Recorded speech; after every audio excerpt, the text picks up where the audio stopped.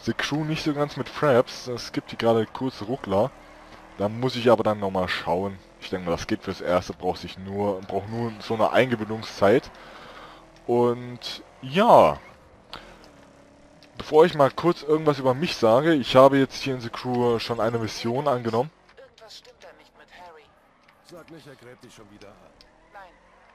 Er sagte, er müsse ein paar Teile aus der Werkstatt holen, aber sein Wagen ist nicht da. Warte mal, du hast ihn verwandt? Die Operation ist zu wichtig, um es dem Zufall zu überlassen. Außerdem schuldet er irgendwem Geld.